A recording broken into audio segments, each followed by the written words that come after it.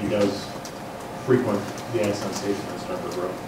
Uh, Did he indicate that he was there on April 26th He did, of 2013, of 2013? Uh, Did he tell you what time approximately? approximately 5 PM. Now, did he also indicate whether or not he knew Jessica Heeringa? He said he did not know Jessica. And uh, did you ask, uh, kind of get a timeline from him for that evening? He tell you where he was during the hours of 9:30-ish until 12:30 the next morning, which would be the 22nd? At that time, he indicated, following the timeline, I asked him, he said he was at the Exxon at 5 PM. He then left there and went to a a card sh- shop where he played some card games, where he left at about 9:30 PM. He arrived home at about 9:45, going northbound on US 31 to was hou- house at South Sheridan. And he was at home from 9:45 PM until 12:30 AM the following day. Okay.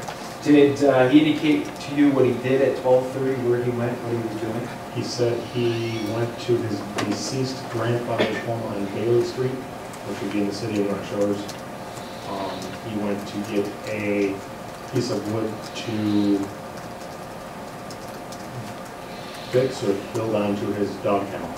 Does that look like the van you inspected that particular day? It is a silver Dodge Grand Caravan with the same plate that I observed in the driveway of 1842 South Shore. And uh, I'm assuming top to back, and, and can you describe to the the inspection you did in the back? Um, we opened up the back, he opened up the back and we looked through it. Um, it was very clean. Uh, like, to the point where there were vacuum marked lines still on the carpet. Um, smelled of cleaning product. He advised that he had just had it detailed because he just purchased it, um, a month prior, Licking Auto in Grand Rapids. And, uh, the day they took it, it had not been detailed yet. So they had returned to them at a later date and had it detailed because it smelled of smoke. You wrote that report October 21st, 2016. Correct.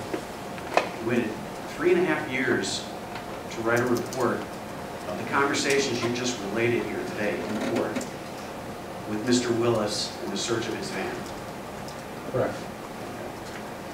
And Mr. Officer Baker also filed a report, although it's in Lieutenant Casher's name at the top, but it's signed Sergeant Baker at the end. He also filed a report, right? You know that? I am unaware. You didn't know that? Because it's the same date as the report that you submitted, October 21st of 2016. Okay. You didn't see his report? I have not. Would it surprise you to know that it's practically a mirror reflection of your report, almost word for word? It wouldn't surprise me, we were both at the same interview. October 21st, 2016, when you wrote the reports about the story you're telling us here today. We had discussed many times over the years since 2013, the events of the interview with Mr. Willis. Did you take notes during the interview with Mr. Willis? We took notes, and that was what those were submitted on the tip sheet that were put in the computer, which we then drafted our report in October of 2016 from.